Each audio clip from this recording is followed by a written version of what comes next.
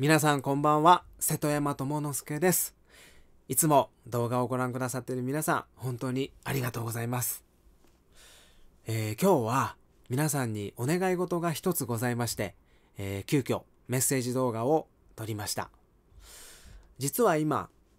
千葉テレの歌で100万円チャレンジという、えー、カラオケオーディション番組に参加しています。なんとか、えー、二次審査通ることができまして、えー、これから三次審査が始まるんですが、その三次審査がですね、えー、審査員が選ぶ10人と、それプラス、えー、それぞれに歌っている動画を千葉テレさんの公式 YouTube チャンネルでアップされてるんですけれども、えー、その動画のいいねの数、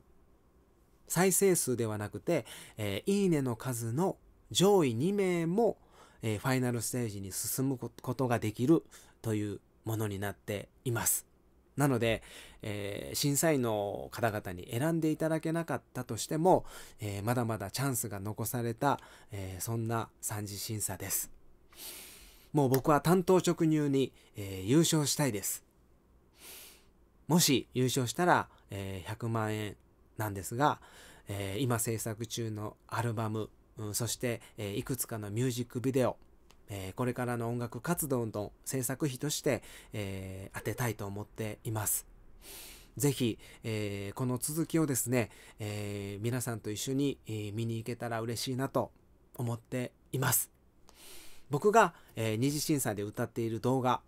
この、え概要欄の方に、え貼っておりますので、えー、ぜひそちらから見ていただいて、え応援の一票いいねボタン